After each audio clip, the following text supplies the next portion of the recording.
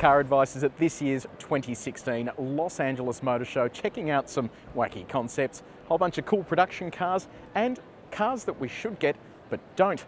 So let's sit down with the team and see which cars were hits and which were misses from this year's LA Motor Show.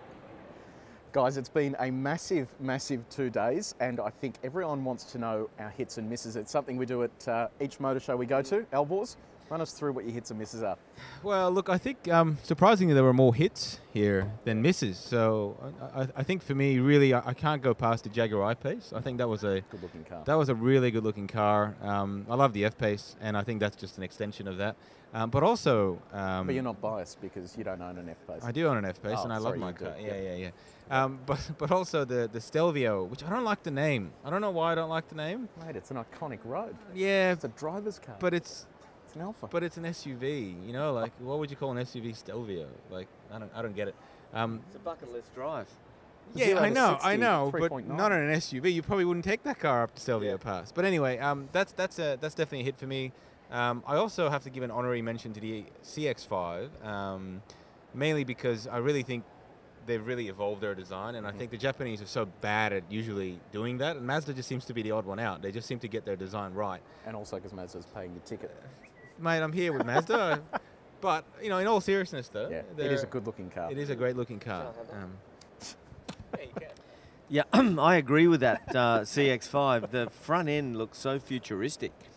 It's almost like conceptual yeah. for me. I was looking at it closely yesterday. Really, really like it. And the interior, of course, is a real big change for Mazda. I think it's, uh, again, an evolution of their interior. It gets better every time, you know. And Tony, what about you? What are your what's your hit from the show? Look, he's, he's stolen my thunder as usual, so I've got to go with uh, I-Pace because uh, I'll be swapping my Disco Sport in two years for an I-Pace. He's lining up a discount Um, already. But it is um, not only for its groundbreaking styling, which they've modelled off the original CX75 concept car, Yep. which was launched in London in 2011, uh, and they never went ahead with that car because it was remember it was going to use turbines, and they, they weren't quite ready Yes, for that yeah. technology. Um, so the front end is very much CX75. It looks How much fantastic. Power does it make? Is it, is it 294 kilowatts, that is amazing. 700 newton meters. Now that Wow. that torque figure uh, is rated the same as the F-Type SVR. Wow. So this is some some really uh, wow. some And really powerful driving stuff. range? Will it actually go far? Yeah, that they're quoting 500 kilometers, and they're saying that's Wow. conservative.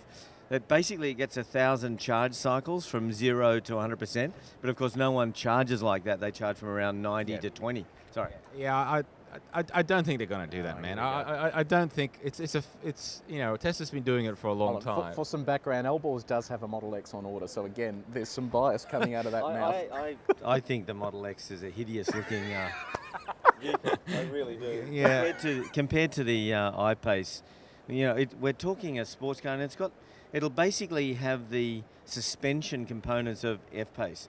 So you're going to talk about the performance-wise, it's going to handle well, it's going to go well, it's going to go quick, um, and the interior space is remarkable. I know it's only a five-seater, whereas the Model X uh, is a seven-seater. So, but you expect a family of I-Paces. yeah. Okay. Yeah, yeah. Look, but still, the battery technology has been. I mean, Tesla's got a gigantic giga. That, that's my question. Like, how Gigawatt do you factory. all of a sudden advance I battery know. technology? You And- would think that if one can do it, But they're quoted 500 kilometers. Also, I doubt that would be the base model. I reckon Mm. they're going to do a Tesla style, bring it up. Yep, Because yep. that's where the real cost of the the car is and that's to where you make money as well. Yeah, yeah. But anyway, for my hit, I have said for my miss, I should say. There Um, we go. Yeah, look, I, I think, uh, and I know this has been out for a little while, but I really don't like that Arcadia. Oh, I'm gonna say, please don't say the Arcadia. That's mine. my miss. The Arcadia is just, it's just, it looks like a Sorrento from the rear, and from the front, it looks like a tarted up Captiva. It's right. just, so we know that this car's coming to Australia. The Arcadia is is coming to Australia. So you're saying that, that perhaps it won't work so well in Australia? no, I think it'll probably work well because they'll price it relatively cheap, and people will just buy it because it's a big Yep. seven seater and it looks American. But I mean, at what point can you not evolve the design? Like, it Yep. just looks like a typical American. SUV. Like, Yeah. come on, guys, like get, just have some styling. Yeah. I agree. It's got it's got a weird, uh, really large rear overhang, but it's got a really short Well, front overhang, have not noticed- quite into proportion. we have noticed from side on, it's unlike any car because uh, the, the I've got a mic, mate. I don't need one because the, the front has that short overhang, and then the rear is it's like another car Yeah. behind there. But I tell you what, I had a good look inside the Arcadia, and it's got a fantastic rear seat Okay. folding mechanism, which folds dead flat, which opens up to a, a cavernous uh, And that's gonna area be of load important for space. Holden. Yeah, it really Yeah, is. they- I, they I need just don't like the look of it. It's got a narrow track as well. Yeah. Um, So what's yours? Okay, so for me, the hit is the Alfa Romeo Stelvio. Um, now, Is, is that because Alfa's paying your ticket?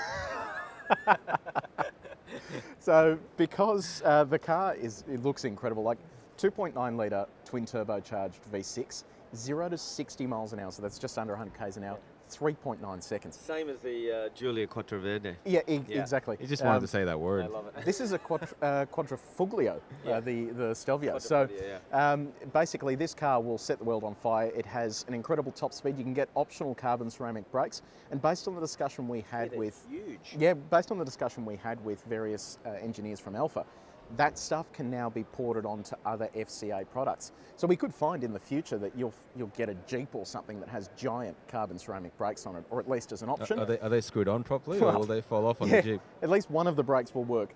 um, so you've got carbon fibre bits. You can get Sparco race seats. Like this is this is a proper proper car. Yeah. In terms of my miss, I'm going to say everything at the Dodge stand, uh, the Charger and the Challenger, and it's not not for the reason you may think.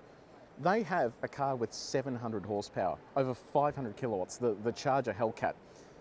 That needs to come to Australia. Left. I've I driven know, that. I know, and it sounds and looks incredible. insane. Some of the colours they have at that stand are amazing. Yet none of these cars are available in right-hand drive, No. and they keep saying that they want to bring them.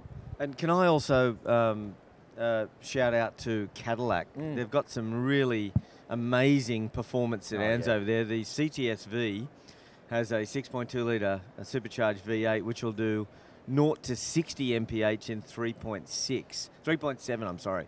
So about And that's three rear-wheel point drive. yeah rear wheel drive.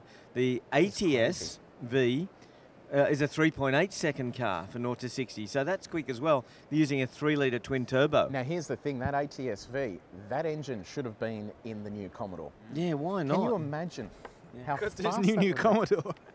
No, but this is the thing: it's it's a General Motors shared engine. Yeah.